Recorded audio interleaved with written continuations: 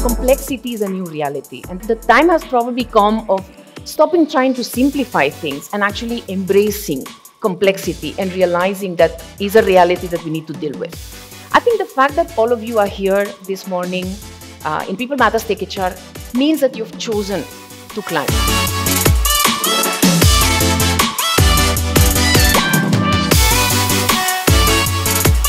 It is a very, very wild world and it is changing very fast. There is a vortex of money and demand and innovation and data and AI all wrapped together in this. You really can't run HR without technology anymore. It's almost impossible.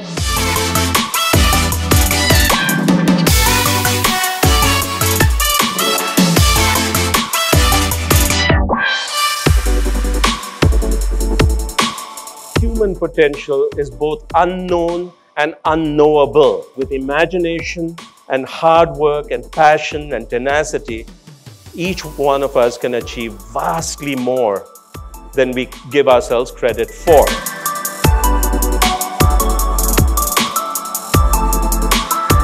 You should be able to adapt and respond fast. This is the future of work.